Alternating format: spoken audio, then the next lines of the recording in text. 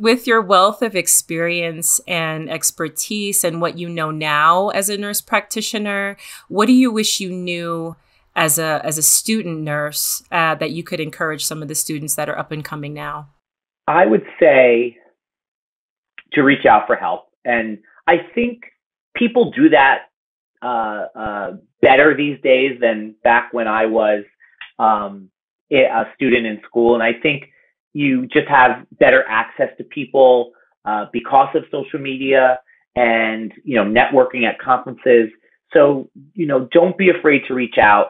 Um, know that some people are really busy, and you may reach out to them, and they may say, "I really can't help you," and that's okay. But reach out to somebody else.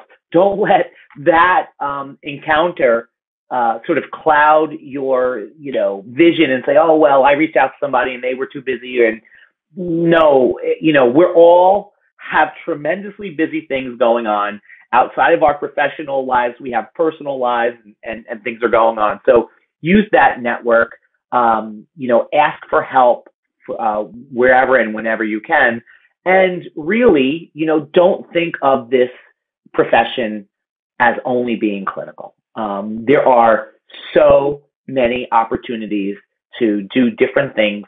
We know our healthcare system in the United States is is broken.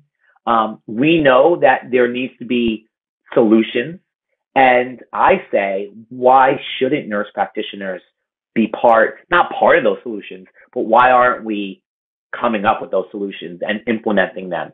So, so I think you know the the world is truly your oyster. Um, there are so many directions one can go in, and you know, always remember there's a patient um, that you're caring for, and just like we have incredibly complex and busy lives, our patients do too.